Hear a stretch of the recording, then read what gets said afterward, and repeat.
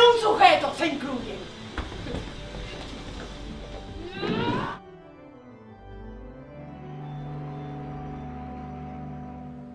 ¡Vivas! ¡Vivas estamos, compañeras! ¡Viva nuestra memoria y nuestras obras! Fantasmas vivos de los sentimientos. No llores nuestra gloria que en la muerte. Prontamente nos dimos por vencidas. No murió la memoria en el olvido. ¡Lectura fue Las mismas almas que ellos, porque las almas ni son hombres ni mujeres.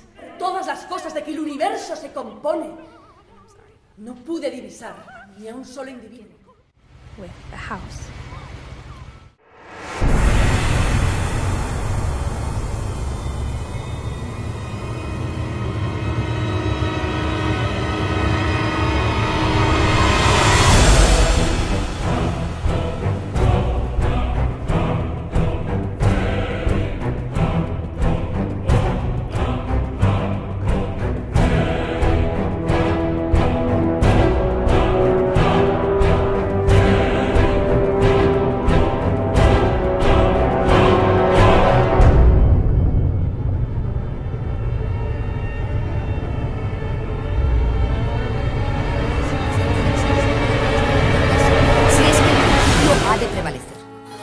Olvidando también que una vez más se repite el hecho eterno de que cada hombre define a la mujer a su manera, como la ven, no como ella es.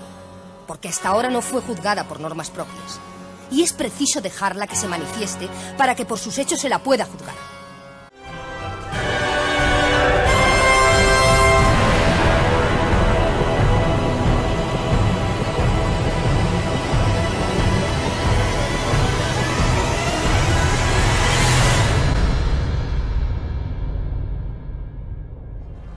Voy a hacer.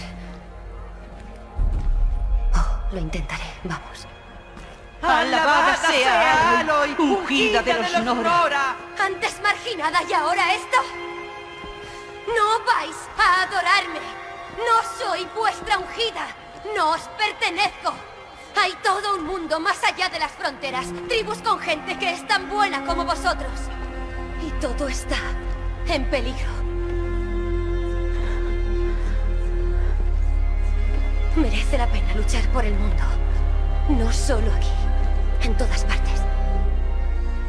Y dice así Rambo en la carta del vidente.